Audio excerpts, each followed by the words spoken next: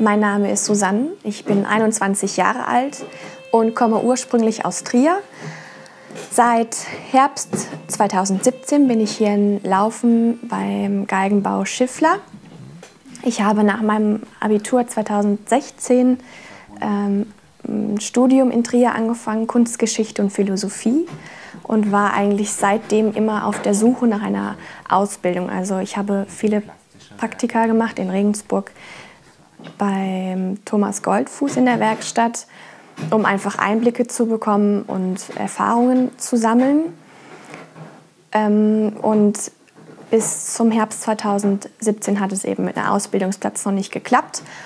Und so wie der Hagen das mir erzählt hat, werde ich das jetzt auch sagen, weil er hat in den Wald hinaus gerufen, hat nach einem Lehrling gesucht und ich habe mich beworben und war hier für eine äh, Probearbeitswoche und es hat gut geklappt und jetzt bin ich hier und lerne Geigenbau. Ich habe mich dazu entschieden, die Ausbildung zu machen, weil mich der Klang von Instrumenten unglaublich interessiert ich habe schon immer gerne präzise und konzentriert gearbeitet, wusste aber noch überhaupt gar nicht, wo ich das unterbringen soll. In welchem Beruf oder ja, wo eben. Und da kam das mit dem Geigenbau, das war einfach da und dem bin ich dann hinterher, immer hinterher gewesen und bin jetzt sehr froh, dass ich das hier eben in Laufen bei Hagen ähm, ausüben darf und er mich quasi von Grund auf handwerklich ähm, ja, erzieht, kann man quasi sagen. Das handwerkliche Arbeiten gefällt mir schon sehr gut, gerade auch, weil man wirklich richtig was arbeitet.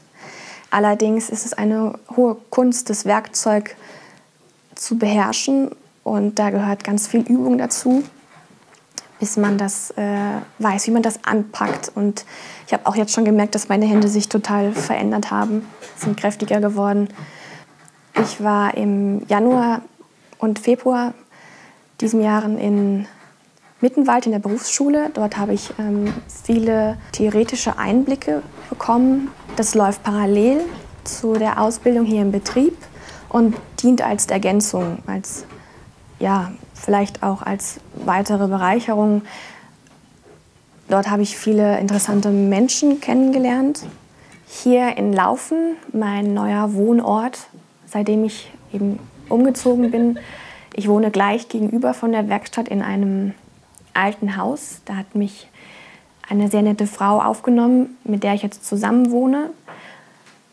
Äh, Laufen an sich ist ein ganz kleiner netter Ort. Es hat viele schöne Häuser, das gefällt mir besonders gut. Es gibt viele bunte Häuser und oft meint man eigentlich, man ist irgendwo in Italien vom Baustil her.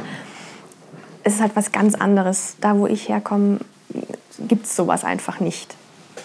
Laufen liegt an einem Fluss, der, der Salzach oder die Salzach. Und das ist für mich auch was ganz Neues.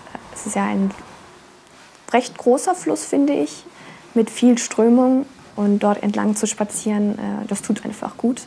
Das mache ich gern. Seit, ich glaube, ich bin donnerstags hier angekommen laufen und bin dann gleich in die Kirchenchorprobe und habe dort nach einer, habe mich vorgestellt und habe nach einer Wohnung gefragt und bin dann eigentlich in einem auch dort geblieben, weil ich äh, unheimlich gern mitsingen will. Ich habe in Trier auch immer Musik gemacht und das war irgendwie mir ganz wichtig, dass das hier auch weiterlaufen kann. Ja, und jetzt singe ich eben im Kirchenchor mit und äh, habe da viele nette Leute kennengelernt. Seit einiger Zeit kann ich jetzt auch in der Musik oder in der Volkshochschule hier mit einer Musiklehrervereinigung Geigenunterricht nehmen. Ja, Laufen ist ja an sich recht klein, es gibt nicht so viele Geschäfte, aber sie haben einen sehr schönen Weltladen, in den ich gerne reingehe und ein bisschen rumstöber. Einen guten Bäcker gibt es hier und eine schöne Töpferin oder mehrere schöne Töpferinnen.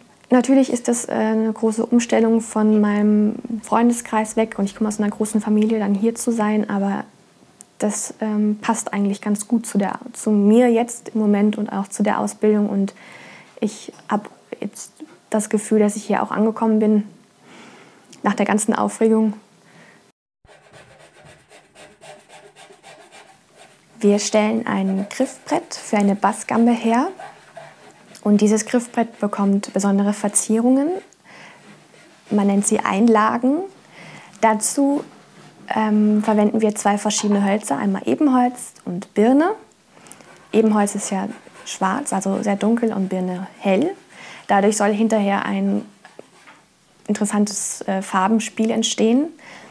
Zunächst wird das Ebenholz oder beide Hölzer ähm, auf drei, drei auf drei Millimeter zugehobelt, dass man viele kleine Streifen erhält, die dann wiederum zusammengeleimt werden können zu einer einzigen großen Platte oder zu einer Fläche. Immer abwechselnd, also hell, dunkel, hell, dunkel. Wenn diese Platte geleimt oder verleimt ist, äh, wird sie in einem Winkel, den ich vorher anzeichne, abgesägt. Und aus dieser Platte entstehen dann wiederum diese Streifen für meine Einlagen, sodass ich dann ähm, in einem mehrere kleine Streifen bekomme mit dunkel, hell, dunkel. Wenn diese Streifen fertig sind, werden diese wiederum zu einer langen Reihe zusammengeleimt. Und links und rechts bekommt diese äh, Leiste einen Rahmen von wiederum Ebenholz und Birne. Zuerst links und rechts Ebenholz und dann wieder Birne als Begrenzung, als abschließendes Element. Und das wird dann wieder verleimt, sodass ich dann ähm, ein ganzes Band habe. Wenn das alles fertig ist, wird eine Nut in das Griffbrett gearbeitet, wo ich dann diese Einlage einlassen kann. Und zum Schluss wird es insgesamt verputzt, sodass das eins wird mit dem Griffbrett.